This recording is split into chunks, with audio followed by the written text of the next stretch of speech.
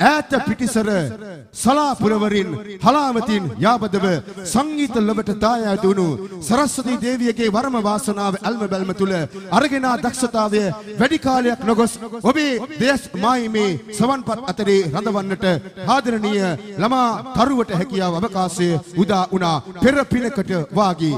තමන්ගේ සිය ලාබාල අවදියේම ලීඩ් ගිටාරය අතට අරගෙන වයා කයද්දී මෙන්න අදත් ඒ අපූරු සොඳුරු දසුන් ඔබේ දෙනෙත මායිමේ මවා කයන්නට ඔබේ වගේ අත්මුඩි ආදරයට කැමැත්තට මෙන්න ඔක්සිජන් සමගින් ළමා කායක ඉමාන් උද්දීප්ත එනවා කයන්නට.